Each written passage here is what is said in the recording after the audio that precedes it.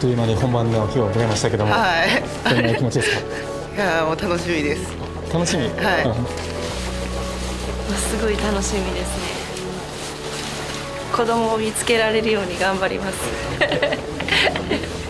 結構自分緊張するタイプなんですけどでももうなんかやるしかないなって思うんで自分は柔道で、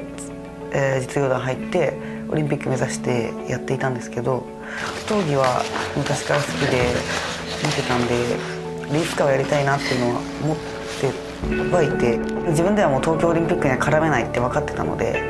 もう今かなっていう思いを後悔したくないなと思ったんで。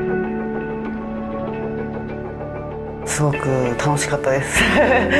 大きな会場ではやり慣れてはいるんですけどやっぱり雰囲気とかその演出とかが全然違ったので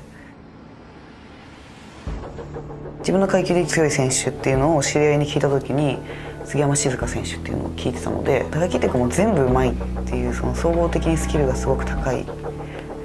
選手そうですなんかもうちょっと練習積みたいなっていう思いは正直あったんですけどまあもうやったるみたいな。